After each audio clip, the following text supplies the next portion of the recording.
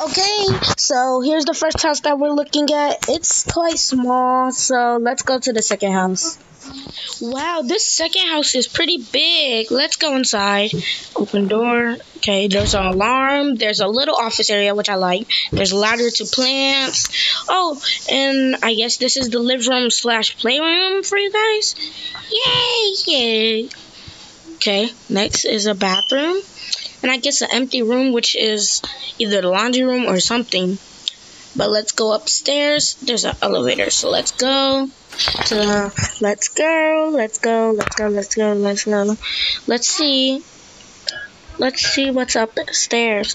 Yay, mommy, yay. Okay, look. Oh, so there's a pool house right here. And and then um the kitchen, okay? A room in another room.